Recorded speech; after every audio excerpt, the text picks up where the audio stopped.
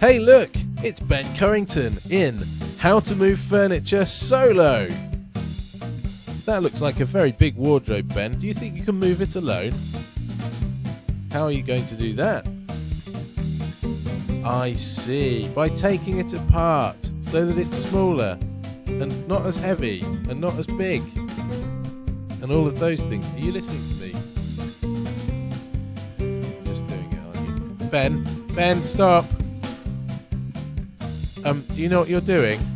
Can you get it down the stairs? You've thought about it. I really don't think he knows what he's doing. Honestly, how is he going to get that down the stairs on his. Dear, I can't look. it's gonna. No, no, no, don't drop it! Don't drop it! Oh.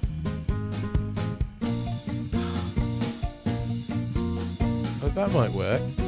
Yes, that might work. If you, if you support the weight on your way down.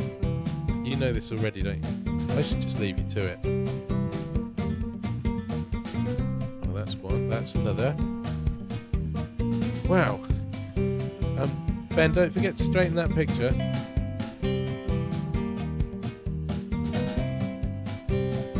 Well, that looks like a job well done.